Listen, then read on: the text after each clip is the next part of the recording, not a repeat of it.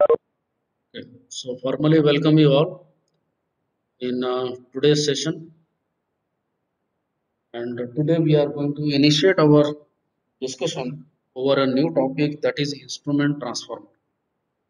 So under the head of module number 4 as per our syllabus as you can see we are going to discuss consider the two important topics one is instrument transformer and followed by our discussion over the potentiometers okay? So under the head of uh, instrument transformers we will be about to know that uh, wha- what is the role of instrument transformer? Why it is needed? Even if you have a standard measuring instruments uh, available like PMMC, electrodynamometer, moving iron instruments, electrostatic method of measurement, induction instruments. Okay, so we have been discussed under the head of uh, module number uh, one and module number two, followed by we also discussed the energy meters, power measurement, right? So why do you need the instrument transformer in that case? Even if you talk about the increasing the range of measurement, you have multipliers, you have the shunt devices. So we are supposed to discuss that aspect uh, this uh, the first part of the module 4 that is instrument transformer. And then followed by we will also consider our discussion uh, over the potentiometers okay? And why do you need potentiometers as far as the dc and ac measurement is concerned? How they will help you to standardize your measurement. So these are the again standard books i would say. Um, yes rohit purket will be one of good book to understand the reference book. And if you want to refer the textbook uh, the, then refer the first one Helfrick Cooper. That is modern electronic instrument and measurement even uh, other than that other reference books I also have recommended you. Golding and Widdis and uh, David A. Bell. Okay? up to wanted to NPTEL site as usual that you will get some of the very good content. So if you are interested through the NPTEL site also. But as far as these presentations are concerned if you can go through this content it will be more than enough uh, for you.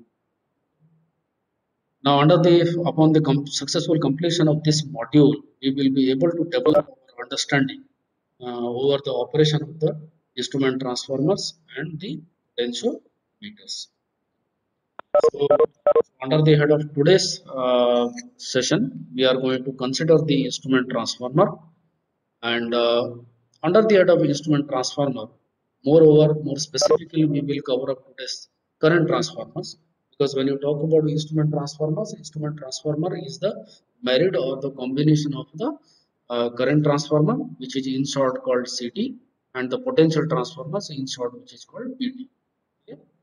So both are the instrument transformers as an individual Okay, so for the measurement of for appropriate measurement of the current and voltage when primarily you are connected with the high voltage line or high current line with the main line or the grid line. So that is the objective. So let us first we try to understand that why do we need instrument transformer. So there are the twofold reasons, two major reasons why you need instrument transformers. Okay. It is primarily used to connect with the measurement of voltage or current or sometimes energy or power in, AC circuit. Yeah. So in AC circuits you can apply. And what why do you need it? So there are two primary reasons. Obviously, the first one is to extend the range. That means extend means multiply the range of the measurement um, of a um, electrical uh, variable, which is the current or voltage. And number two, which is the very primary reason, okay, primemost reason to isolate the measuring instruments okay, from a high voltage line. What do you mean by to isolate the measuring instruments from a high voltage line?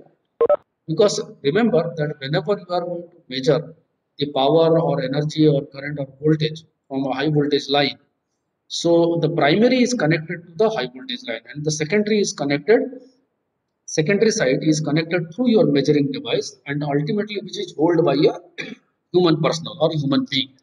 So your primary reason keep the to take care about the safety of the life of a human personally involved under the measurement.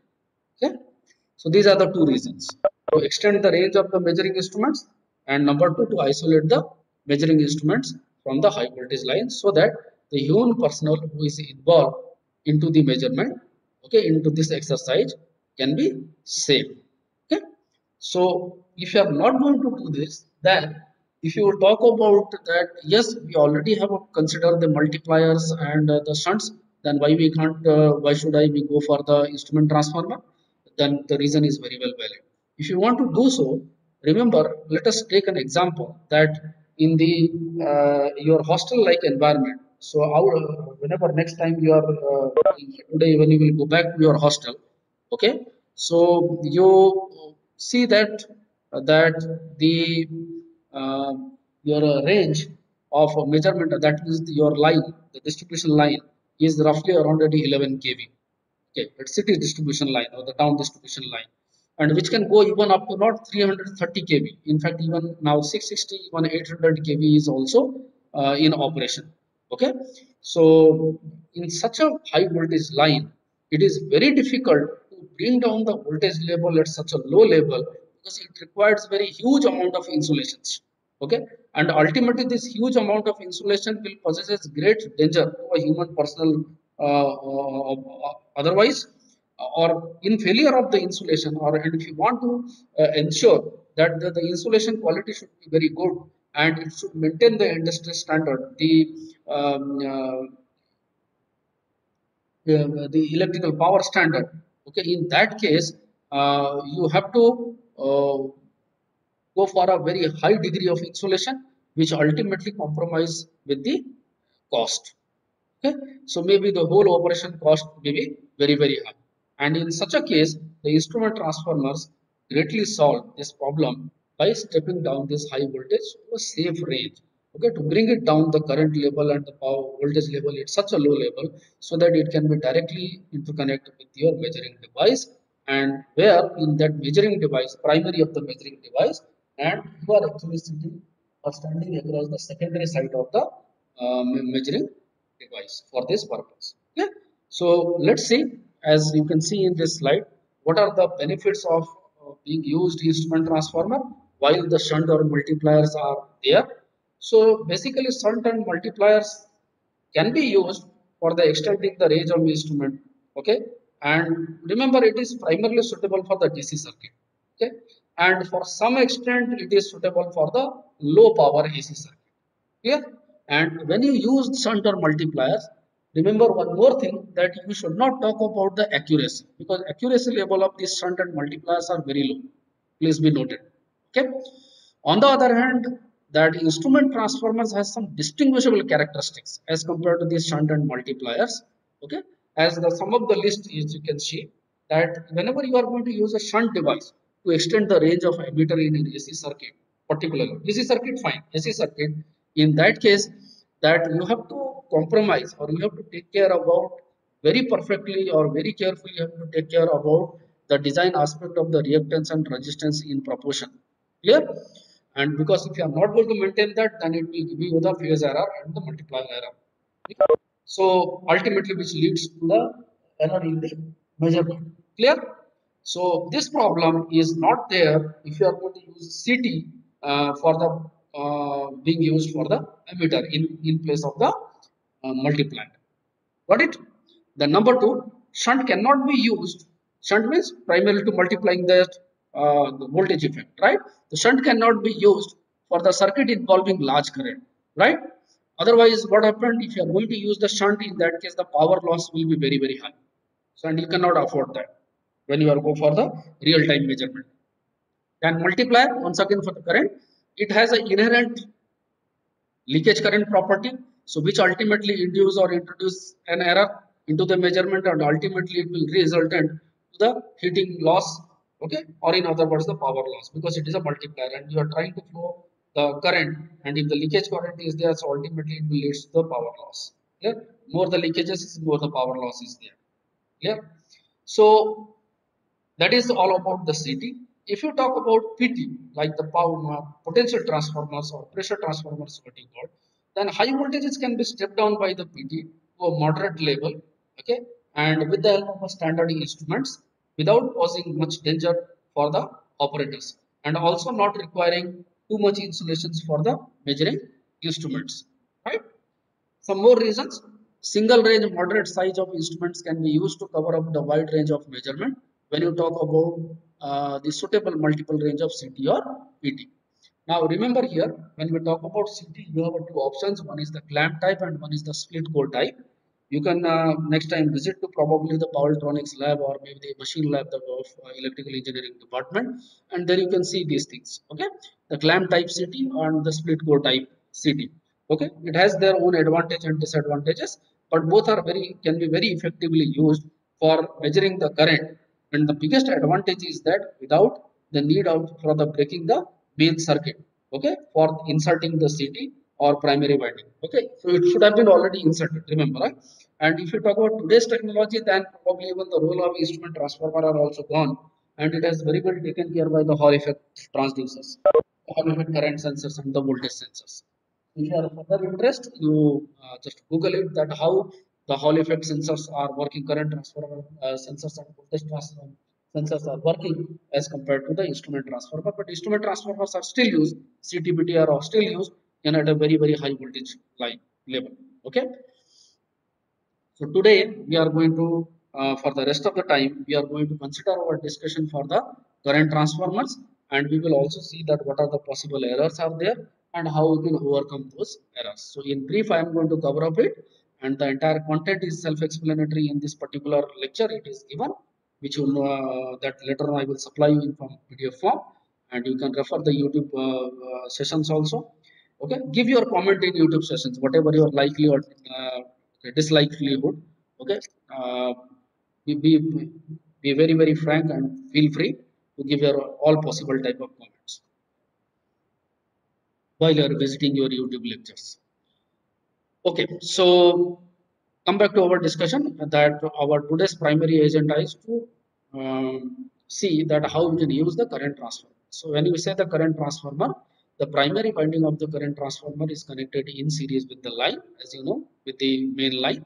And the secondary winding of the current transformer, as you can see over here, where the current is basically uh, manifold times step down, okay, um, and it is directly connected across the ammeter, okay. So as you can see over here that the two possible things if your purpose is only to measure the current then the circuit diagram A you are supposed to follow and this is the current transformers where you see that the lesser number of primary winding is there okay?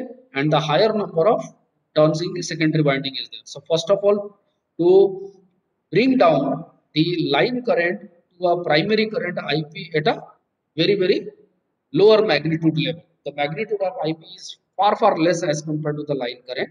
And once it is came into the safe zone then you can increase n times of ip is equal to n times of is secondary current where you are trying to bring the current level to a true value so that it can be measured by applying a ammeter understand that is for the measurement of current but if you want to use for the power measurement then you remember that the role of current transformer is again uh, bear by the current coil here only pressure coil we will talk about later. We have seen that how the wattmeter is actually working. So the current transformer is going to connect with the uh, secondary side of the current, uh, the, the primary side of the current coil. So how we are going to do that? So the CT you are going to apply in the same way and the secondary side of the current transformer is connected to the current coil of the wattmeter. Clear? Uh, rather than ammeter, it will be connected to a current coil of the wattmeter. So that's how we can measure the go for the power measurement right now say for example tomorrow if you have a circuit transformer and you see this particular rating 500 oblique 1a 5a 5p20 what does it means it means that the current transformer rating with the primary and secondary current are respectively 500 ampere and 1 ampere clear with its rated secondary burden is 5 volt ampere clear so the secondary burden is 5, 5 volt ampere. So it is what you are talking about the apparent current, right? Okay. Okay. And it is designed for the 5% accuracy. 5 means 5% accuracy. Okay.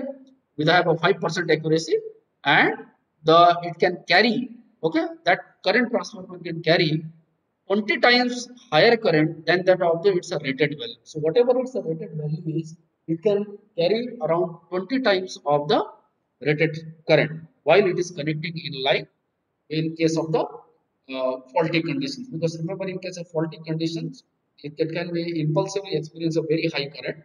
So uh, the specification should be known that up to what limit your current transformer will be safe. So it can be safe up to 20 times of your rated current. If more than 20 times rated current will flow, then your current transformer, the primary winding can be damaged. Okay. So that's how you have to take care. Now, I need not to explain that is the equivalent circuit diagram of the current transformer, the primary and the secondary side and accordingly the phasor diagram has been drawn. Okay, so I would advise that go through this particular uh, thing and because okay, they all are the self-explanatory point. Okay ic is the core current im is the magnetizing current. Okay i naught is your uh, uh, primarily the no load current. Okay and uh, uh, your delta is equal to phase angle between the secondary winding induced voltage and secondary winding current. Alpha is equal to no load current angle between the no load current and the flux induced flux beta is the secondary load current okay all are the standard nomenclature okay so uh, I hope that I should not require to explain it again. If you find any difficulties so during the doubt clearer session, you can ask. Okay. So this phasor diagram is now further modified. Okay. As far as the current transformer operation is concerned in this way, as you can see in figure number 4. Okay. It is nothing but it is the expanded view of a section of the figure 4.3. 3.3 you have seen here in this figure. So it is a modified figure as what you see in 3.4 and from here, if you are going to see the expanded view of the section, then you can appreciate that PR is nothing how much? PR is equal to magnitude of PR is nothing but it is equal to 0 to I naught. So that means the total magnitude of PR is equal to I naught. If PR is equal to I naught, then what is the value of your PQ and QR? So PQ and QR, PQ is equal to I naught cos 90 minus angle that is minus of delta uh, plus alpha or minus delta minus alpha you can say which is equal to I naught sine delta plus alpha and therefore QR is equal to I naught cos delta plus alpha. Okay. And in this case, if you are trying to find out the magnitude of OR, this, this OR is how much? This OR is, is equal to OR square is equal to OP square plus PQ square and plus within bracket, okay, OP square plus PQ square of whole square and plus QR square, right? So substitute these values, solve it so as you can see your IP is equal to exactly equal to root over of n uh, is whole square plus twice n i naught i uh, is um, uh, is i naught into sine delta plus alpha into i naught square. Now can I modify this i naught? Yes, because i naught is a basically no load current whose magnitude is much lesser than that of the primary current IP. Okay, and even it reflect in the same in way the reflected secondary current as well. That is n of is. So therefore in other words you can say i naught is very less than n of is. So if it is so that can i modify this i naught is equal to i naught sine delta plus alpha of whole square? Yes. Because if uh, angle is uh, tending to zero. So the, the sine delta plus alpha is equal to tending to zero. So in that way if you are going to substitute change this particular value uh, over here you see this i naught sine delta plus alpha of whole square. Okay? So if i can modify this i can apply a a square plus twice ab plus b square. That means your algebraic uh, formulation a plus b of whole square substitute it and you will get ip is equal to approximately n of is plus i naught sine delta plus alpha.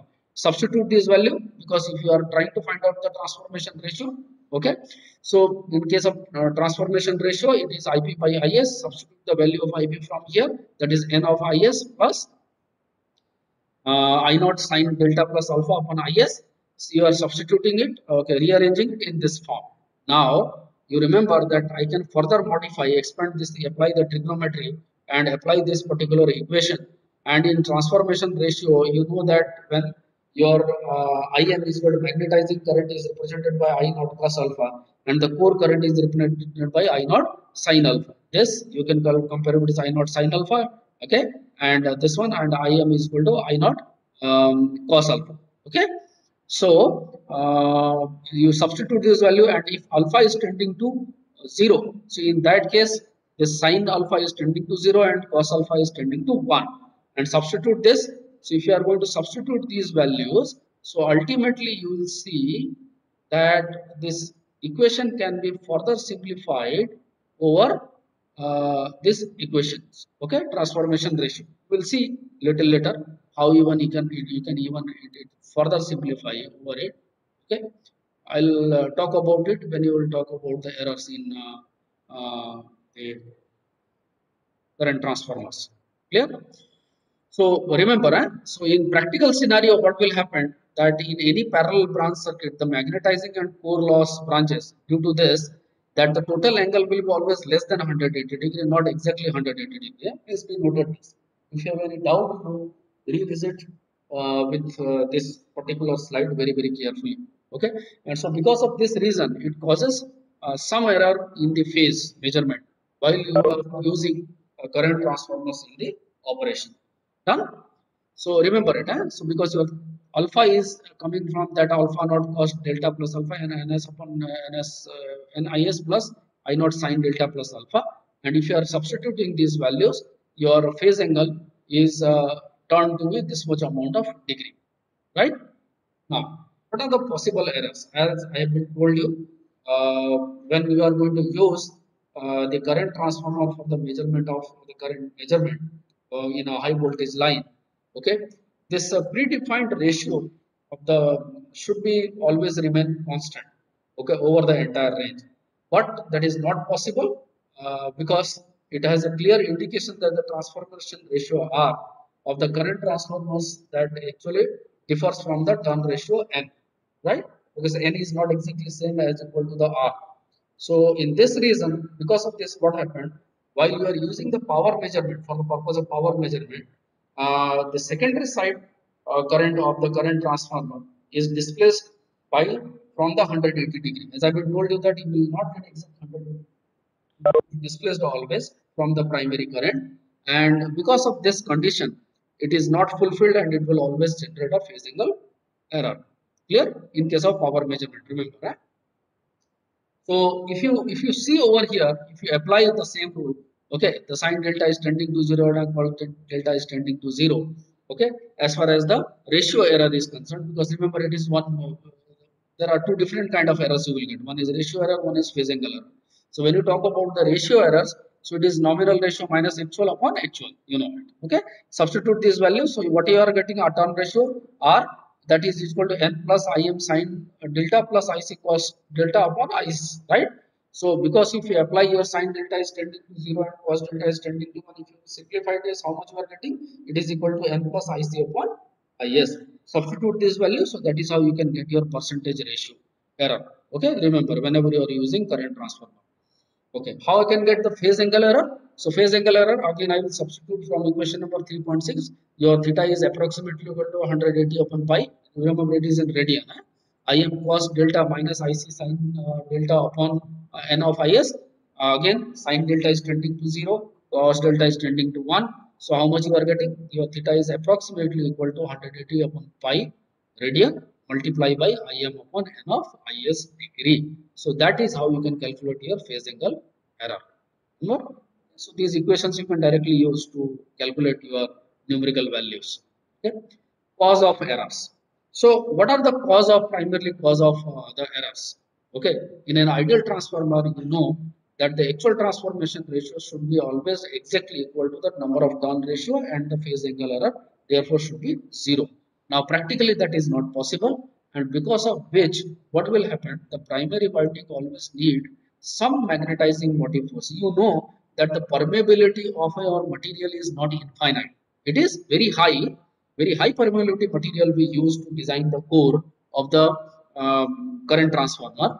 But remember that its permeability is not infinite. That means what? You always have to give some kind of input, some magnetomotive force to produce the flux. Okay, and that is itself an indication that why the error will occur. Okay, why the CT draws the magnetizing current IM. That is number one. Number two, the CT no load current must have a component of a core current only okay ic okay and has to supply to the core loss that is the eddy current loss or the hysteresis loss once the CT core loss becomes saturated then the flux density of the core no longer uh, remains a linear function of the magnetizing force. Remember, eh? it's not linear, it's being saturated. There is a non-linearity you will get. Okay, or exponentially it will vary. Clear? Parabolically it will vary. It is a second order uh, non-linearity you can say. Okay.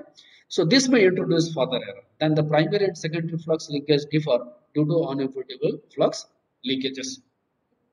Now, so therefore, these are the errors, so question comes that how I can reduce these errors? What are the ways to reduce the errors? Number one, low flux density. The magnetizing component of the current may be restricted by using low current value of the flux density. You have to make the arrangement, you have to select the provision and the design and the material in such a way that you should always generate very low value of flux density. Because if you will do so, and how can do so? Low value of flux density by increasing the area of cross section of the core. Okay, this is the reason why the CTs are normally designed with much lower flux densities as compared to a normal power transformer. Remember, in case of normal power transformer, you don't require to worry about the secondary side to be kept open. Because in case of current transformer, if you are keeping open, then remember your personal may be in a very very high tension okay? While in case of power transformer your own personal is already safe.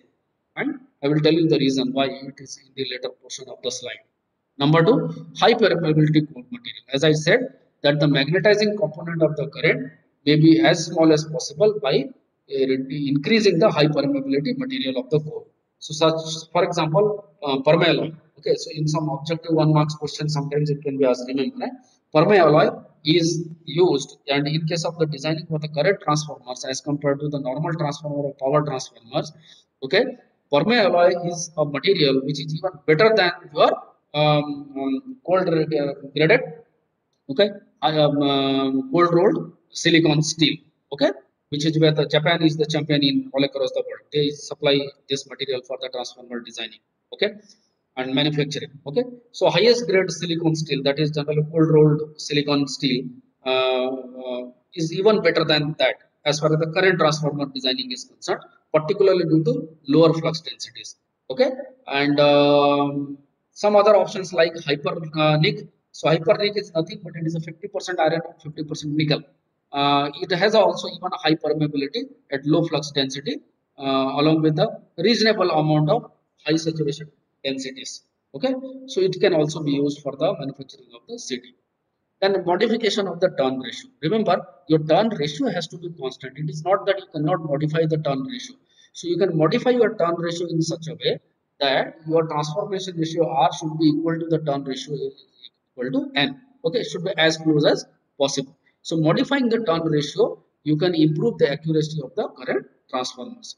And then further if at all needed finally then you can use the shunt current okay? That to be found very high and it can be placed across the primary or the secondary side as and when needed okay? In a particular type of burden using a particular type of burden and it can help you to reduce the particularly phase angle error okay? Remember we studied the two different errors ratio error and phase angle error so the last solution can be uh, used this fourth one use option can be help to reduce the phase angle errors okay Finally, the wound core construction.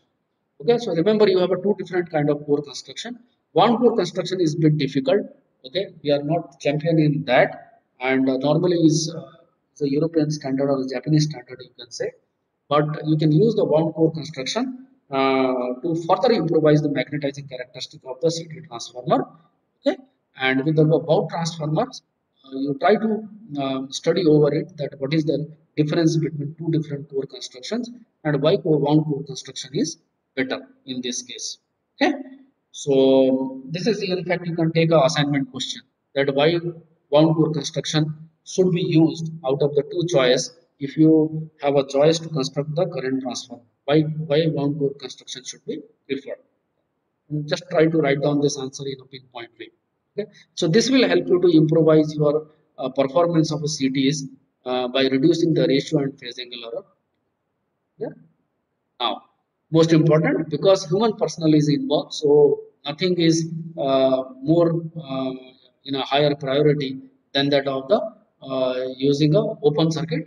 Um, uh, sorry, the safety of the human personnel, I would say. So, the biggest and foremost reason you remember that whenever you are using the current transformer in the today or tomorrow your profession if you will join in that kind of industry domain. Okay power grid or in the substation operation of the some company you are involved tata power or some government companies agencies will involve. Uh, he noted you never ever keep your secondary side of the current transformer open. Otherwise even your life could be in the danger. Okay so your current transformers are always used with its secondary circuit closed remember otherwise you short it. If you are no operation you are not using current transformer then you short the secondary side of the current transformer okay? Never keep it open otherwise human personal life can be in a danger clear? And this is the major difference between the current transformer and the power transformer because whenever you are using a power transformer your power transformer primary winding is always connected in series with the main line so it is carrying the line current okay? So therefore the primary current is in no way controlled by the conditioning of the secondary winding of the circuit of the transformer okay? So that is the biggest difference whenever you are using a power transformer and current transformer okay? In a normal operating condition. And number two reason that if you will keep it open then there is no way to return the back emf okay otherwise what will happen if the some back emf is resulting over here? So then this back emf is cleared uh, create or will be increased value of hysteresis and eddy current loss which will further increase the higher flux densities. Okay? And that may overheat the current transformer core also. So these are the reason that why should not uh, keep your uh, special precautions you have to take while you are using the current transformers and the number two reason the permanent magnetization of the core that i have been discussed to you already that how you can go for the core material select a core material of current transformer that may undergo the permanent magnetization due to one or more uh, these following reasons. So these reasons we have been already discussed with you okay? So go through it. I would advise that last two three slides okay, in a detailed way. So reason is over mentioned over here. Okay. so with this uh, i am closing the uh, recording of this particular lecture. And the next lecture we are going to discuss over the